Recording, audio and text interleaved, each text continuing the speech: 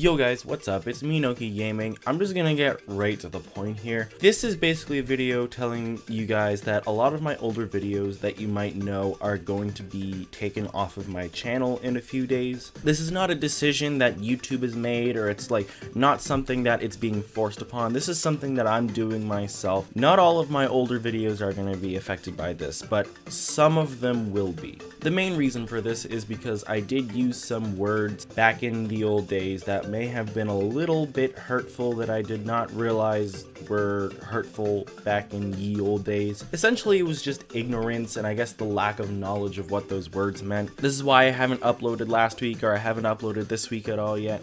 The reason that this is happening is because I've been spending a lot of time watching my older videos and I've noticed a lot of them had some really inappropriate and hurtful things that I've said, so those videos have been taken down. The videos mainly affected by this are a lot of the older Mario Kart videos, primarily the Mario Kart 64 ones. Some of the NHL ones might be taken down. I haven't looked through those ones yet, but those ones could be candidates for uh, those offensive words. And there might just be some miscellaneous videos like the Game Dev Tycoon series, maybe the Roller Coaster Tycoon ones that are going to be taken down in the coming days as well. Like I said, not all of them are going to be taken down, but some of them that do have these offensive words in them are not going to be on my channel any longer.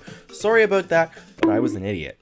So that's all I really wanted to say. Thank you all for watching and tuning into this little announcement. Thank you very much for uh, just being here, I guess. There will be a video coming out later this week. I haven't decided what it's going to be yet. It might be a Five Nights at Candy's Part 3, uh, where I just finish off the game. It might be a Pikmin 1 video. I haven't decided yet, but I will see in due time.